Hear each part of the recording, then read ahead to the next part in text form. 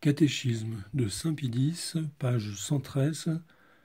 Nous sommes dans le Grand Catéchisme, chapitre 6, le cinquième article du Credo. Que nous enseigne le cinquième article est descendu aux enfers le troisième jour et ressuscité d'entre les morts.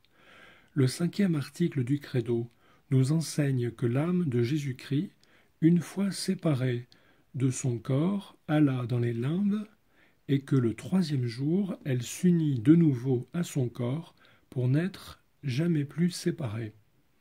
Qu'entend-on par enfer? On entend ici enfer, les limbes, pardon, je reprends la phrase, on entend ici par enfer les limbes, c'est-à-dire le lieu où étaient les âmes des justes en attendant la rédemption de Jésus-Christ. Pourquoi les âmes des justes ne, furent, ne furent-elles pas introduites dans le paradis avant la mort de Jésus-Christ? Je redis cette question. Pourquoi les âmes des justes ne furent-elles pas introduites dans le paradis avant la mort de Jésus-Christ?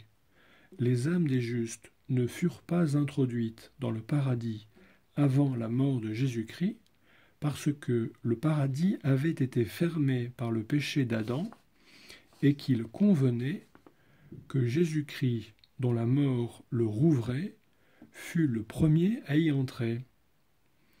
Pourquoi Jésus-Christ voulut-il retarder sa résurrection jusqu'au troisième jour? Je répète la question. Pourquoi Jésus-Christ voulut-il retarder sa résurrection jusqu'au troisième jour? Jésus-Christ voulut retarder sa résurrection jusqu'au troisième jour pour manifester avec évidence qu'il était vraiment mort.